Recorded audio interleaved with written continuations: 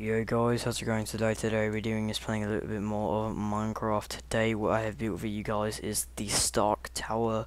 Um, if you do not know what Stark Tower it is, it is uh, Tony Stark's tower from Iron Man and or the Avengers if you want to call it the Avengers, it doesn't really matter. But um, this is my world where I do lots of big buildings um, and stuff like that, you know. Um, a lot of these buildings are based on other buildings, either that people have done or that's um, all in real life. So yeah, it's completely furnished. Obviously, inside does not look exactly like Stark Tower. That's really hard to do, but um, I wanted to focus on the outside a little bit um, more than the inside.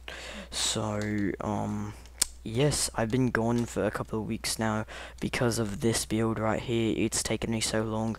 And if you're wondering, like, whoa, dude, you were making so many videos when you first started and all that.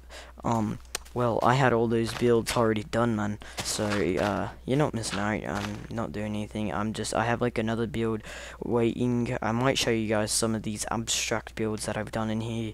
Um, because I like to do abstract builds, but Stark Tower came out very nice. I don't like the T right there, but, you know, it's the closest that I could get to it.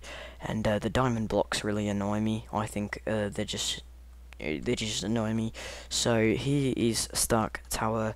Um, I do have a good looking point from up here if you want to actually look at it. Um, this is just a build that I made in about four hours. It was pretty easy to build. It was just uh, abstract, kind of, I guess. But this is a, viewing point of it. Sorry, let's get down.